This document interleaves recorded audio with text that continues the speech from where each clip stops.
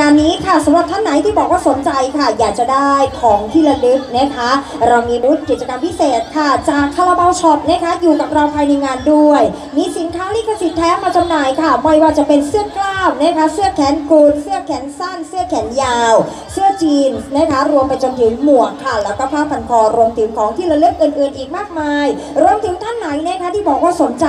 อยากจะได้กีตาร์โปร่งนะคะจากคาราบาวค่ะ พร้อมกับลายเซ็นที่แอดพี่เล็กที่ทีพี่เทียรี่นะใช่แล้วค่ะวันนี้เนี่ยสามารถที่จะไปได้เลยที่บูธกิจกรรมพิเศษ ในส่วนของกีตาร์โปร่งนะคะราคาเพียงแค่ 3,900 บาทเท่านั้นเอง พร้อมกับลายเซ็นพี่แอ๊ดพี่เล็กพี่เทียรี่นะคะรวมถึงยังจะได้รับฟรีค่ะสำหรับสายนะคะฟรีอีกหนึ่งชุด ใครที่สนใจก็เรียนเชิญได้เลยค่ะ ที่บูธของคาราบาวช็อปนะคะซึ่งต้องบอกว่า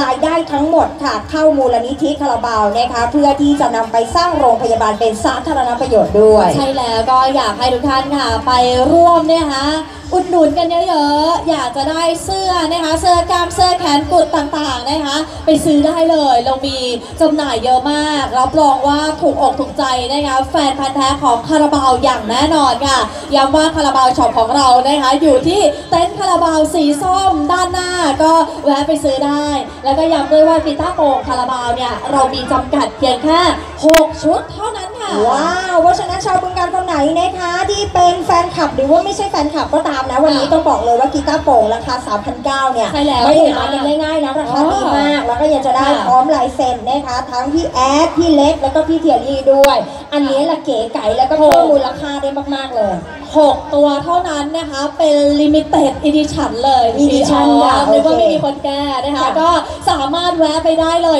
6 ตัวเท่านั้นนะคะ ไม่มีที่ไหนแต่ว่าที่นี่เรามาเอาใจสำหรับชาวบึงการด้วยนะคะ ก็แวะไปได้เลย เดี๋ยวเราจะมีกิจกรรมดีๆเนี่ยต่อเนื่องกันอย่างแน่นอน แต่ว่าตอนนี้อยากให้ทุกท่านค่ะขยับเข้ามาด้านหน้า ใช่แล้วเพราะว่าอีกสักครู่นะคะ สาวเบาแดงเขาจะมามอบโชคแล้วนะแล้วก็แน่นอนใช่ถ้าเกิดว่าคุณอยู่ด้านหน้า คุณก็มีโอกาสที่จะได้รับของรางวัลต่างๆ มากมายเลยทีเดียวค่ะใช่ฉะนั้นค่ะตอนนี้เชิญนะจ๊ะสำหรับชาวบึงการนะคะได้ยินเสียงของเราแล้วนะ เรียนเชิญได้เลยนะคะบริเวณ เวทีความบันเทิงของเราเวทีใหญ่ของเราตรงนี้นี่แหละใช่ค่ะอีกสักครู่นะคะความสนุกสนานและของรางวัลรวมถึงความมันจากคอนเสิร์ตของเราจะเริ่มต้นขึ้นแล้วค่ะ ถูกต้องค่ะ ก็ติดตามกันได้นะคะ กับกิจกรรมดีๆแบบนี้ วันยางพารา